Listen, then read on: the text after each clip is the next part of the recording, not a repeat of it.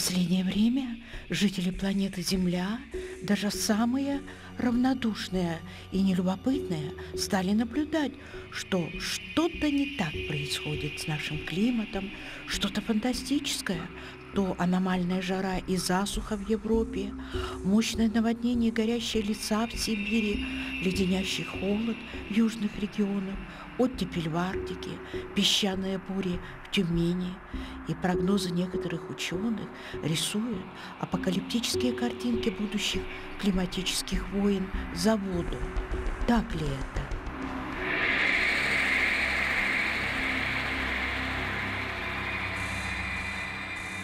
Мы все знаем, что в истории Земли, которой примерно 4,5 миллиарда лет, были периоды похолодания, потепления, потом опять наступало потеп... похолодание. Но вот а последние лет 40 э, на Земле э, наблюдается очень стремительный рост температуры воздуха, буквально на всей планете.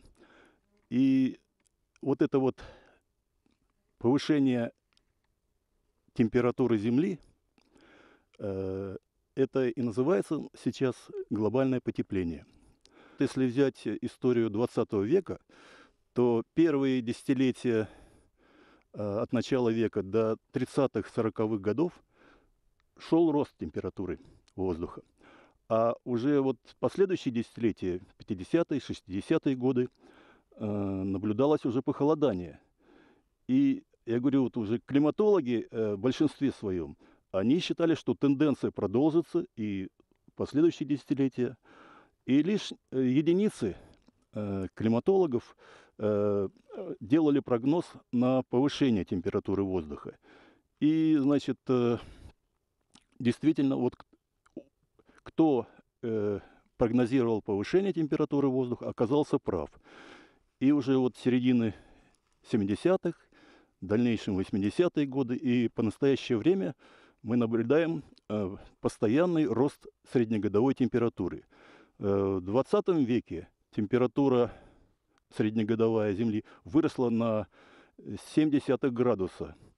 И вот прогнозы, которые строятся уже вот на 21 век, э, говорят о том, что э, этот рост будет продолжаться. Как это вот э, если посмотреть регионально, как этот климат вот изменялся в России, э, в Якутии, то э, мы видим, что вот температура, рост температуры воздуха в России, он обгоняет э, среднепланетную температуру. А в Якутии еще больше, чем в среднем по России, потому что вот мы живем в северном регионе, и здесь очень высокие тренды – 0,7-0,8 градуса за каждое десятилетие. Э, значит, ну, основной причиной, которой сообщество климатологов считают, это э, усиление парникового эффекта э, в связи с ростом э, концентрации углекислого газа. Это один из такой основной э, парниковый газ наряду с метаном, с водяным паром, и этот рост э, принял уже такие вот э, не то что катастрофические, может и катастрофические э, значения, потому что э, вот за последние там лет 800 это самые высокие концентрации. То есть усиливается парниковый эффект. Оказалось, что вечный спутник планеты Земля, метан, самое простейшее органическое соединение, газ без цвета и запаха, основной компонент природного газа, вполне может стать врагом человечеству. Северо-восток Арктики просто насыщен метаном. Можно тоже, как думать, опасно, не опасно, вот это вот выделение метана. И здесь стоит заглянуть в историю нашей планеты. Что же было раньше? И оказывается, что были глобальные потепления, катастрофические потепления, которые называют метановыми катастрофами. Почему метановыми? Потому что по каким-то причинам, тут разные тоже гипотезы, но тем не менее все газовые гидраты, которые были на тот момент на Земле, разложились.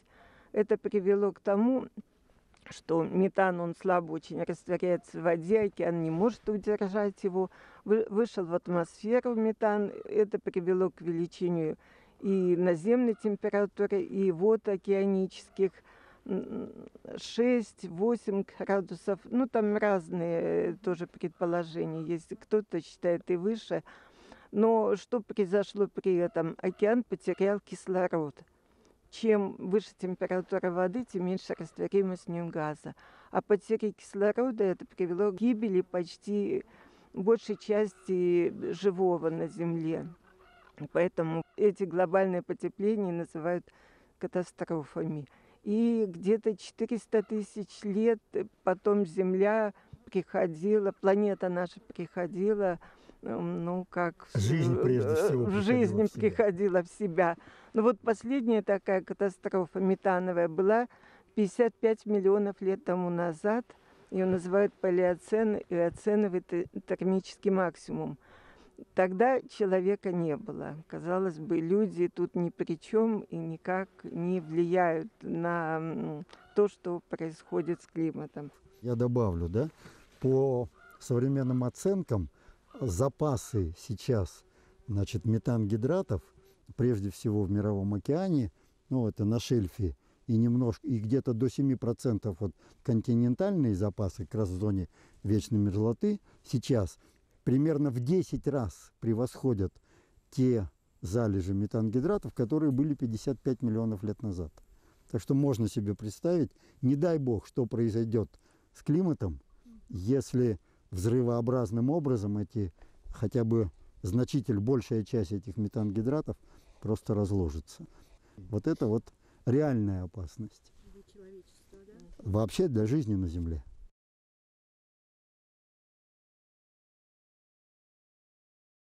Многие говорят, что климатические изменения каким-то образом управляются именно солнечной активностью. Ну вот на эту тему я хотел немножко рассказать, но сначала я должен сказать, что представляет собой солнечная активность. Значит, еще в средние века было обнаружено, что на Солнце э, время от времени появляются пятна. Оно э, значит, э, покрывается пятнами, их бывает то больше, то меньше. И вот когда был изобретен телескоп, то за Солнцем стали уже регулярно следить и изучать пятнообразовательную деятельность Солнца, которую потом стали называть солнечной активностью. Вот эти пятна, они, э, их количество возрастает несколько лет подряд и достигает максимума года через 3, через 4 после начала подъема пятен. А потом в течение 7-8 лет эти пятна в количестве убывают. Достигается минимум и потом повторяется все опять. Значит, вот этот 11-летний цикл, его так называют, цикл солнечной активности, он повторяется э, из э, одного десятилетия в другое, и уже много сотен лет его наблюдают. Но вот э, в начале 17 века произошло удивительное событие. Солнце, э, количество пятен уменьшалось и уменьшалось, а потом они исчезли совсем. И несколько десятилетий пятен не было. Это в 1600-е годы, 610-е, вот в те годы как раз э, были такие изменения на Солнце происходили. И самое удивительное, что в это же время начинались климатические изменения, которые потом были названы малым ледниковым периодом. В это время на, в Европе, например, замерзали озера, э, моря покрывались льдом. Э, некоторые европейцы впервые видели твердую воду, по которой можно ходить. Этого они не знали раньше. Э, вот э, в России э, несколько лет подряд в этот же период были неурожаи, ну понятно, связанные с заморозками. И неурожаи вызвали большой голод, возникли народные волнения, потом появилась, возникла великая смута То есть все то, что э, сначала в природе наблюдалось, оно потом оказалось даже влияет на политическую жизнь.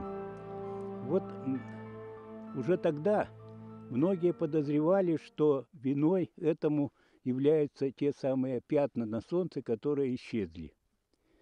Но, э, конечно, уровень науки в то время был недостаточен для того, чтобы понять, почему и, и как это может связь такая осуществляться.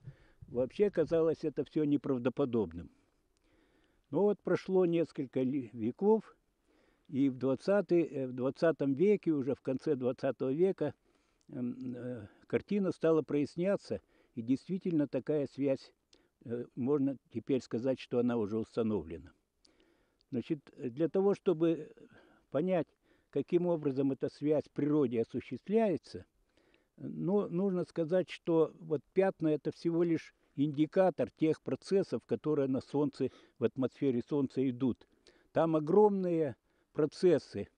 Это вихри, это течения, это даже взрывы, которые наблюдаются время от времени на поверхности Солнца. И э, Солнце выбрасывает большое количество вещества во внешнее пространство. Это вещество распространяется в виде, э, как бы в виде солнечного ветра. С большой скоростью этот ветер обдувает планеты, в том числе и нашу Землю тоже. Но, конечно, Э, совершенно было бы непонятно, как этот ветер может менять температуру э, на Земле. Значимость Солнца для климата Земли – это колоссальная. Поэтому у меня есть вот такое стихотворение, которое посвящено вот этому явлению, этой звезде, которая нас обогревает, освещает и так далее. Дает и дает жизнь. Вот стихотворение так оно называется, вот, Солнце. Нам жизнь дарует Солнце, вот наш Всевышний Бог.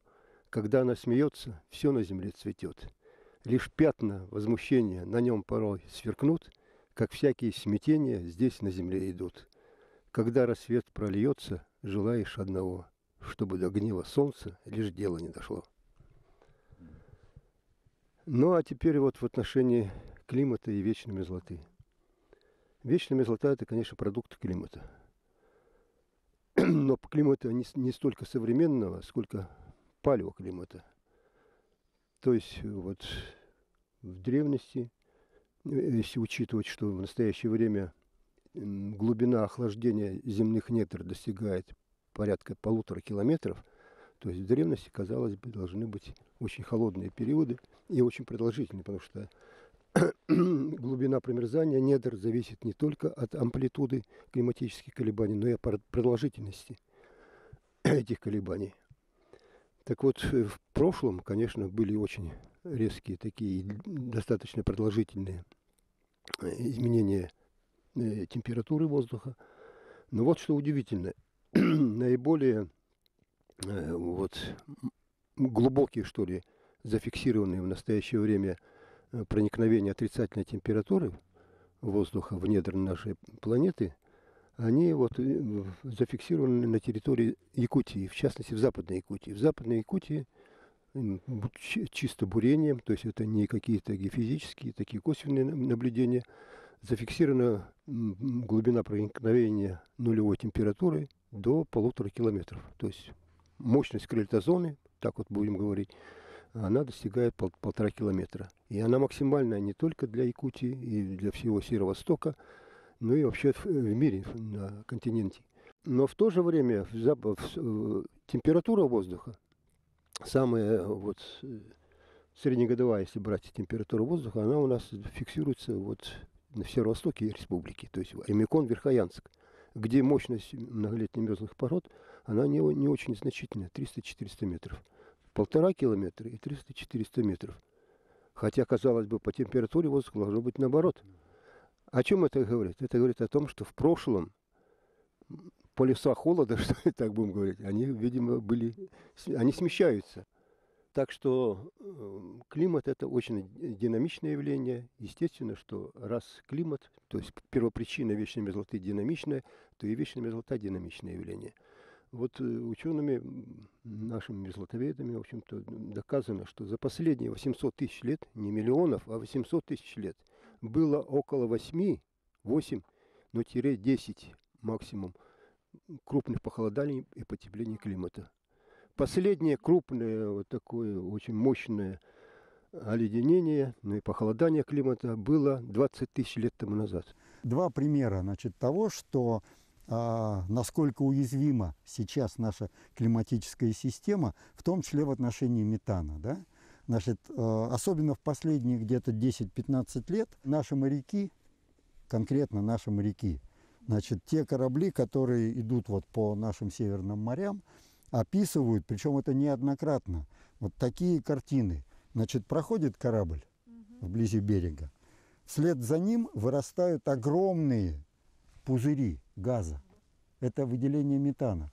То есть даже шум, вибрации судового двигателя могут привести к тому, что вот эти находящиеся в очень нестабильном состоянии метангидрата разлагаются, и эти выделения метана идут именно как взрывы. Значит, если это на шельфе, то есть в океане, да, это как пузыри. И другой пример, не менее интересный. Значит, вот последние годы все больше и больше открывает так называемых воронок в тундре, да? Угу. ну, начиная с Ямала. На самом деле подобных структур достаточно много и у нас в Якутии, только, слава богу, в практически ненаселенных местах. Да? Значит, что это такое? Это воронки, образующиеся до глубины где-то порядка 200-250 метров, как раз вот начиная с 200 метров и отмечаются э, залежи метангидратов. Так? Значит, э, это воронки в полном смысле слова, э, их происхождение это взрывы.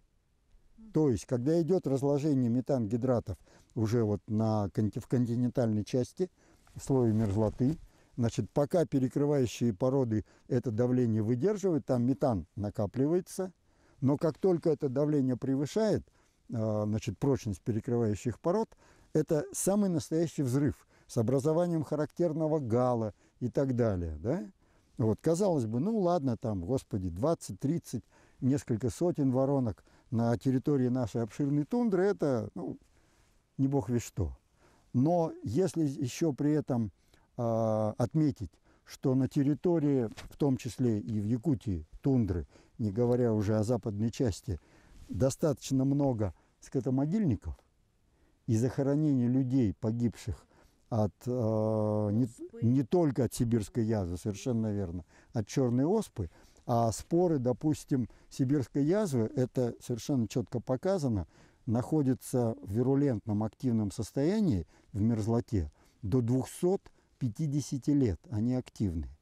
И вот представьте себе, не дай бог, пока, а, кроме одного случая, этого не было. Так? Значит, что вот эта вот воронка образуется а, вблизи от такого скотомогильника. Значит, с этой, ну не, не то что взрывной волной, а просто с поднимающимся а, газом, значит, эти споры той же сибирской язвы могут разноситься на очень большие расстояния. Вот это не очень приятно. Человечеству нужна наука, которая научит его предугадывать, прогнозировать последствия. Почему я говорю, что это очень важно? Потому что вот есть, э, ну и в медицине, и в любой деятельности есть отложенные последствия.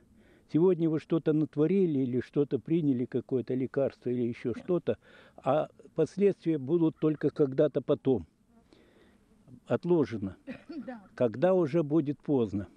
Вот.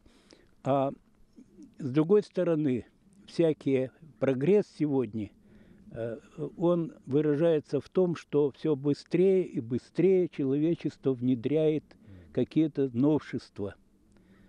Оно может внедрить такие вещи, которые потом поздно будет обратно отрабатывать. Человечество решить проблему, проблему войн – Потому что войны, они должны в 21 веке вообще исчезнуть из арсенала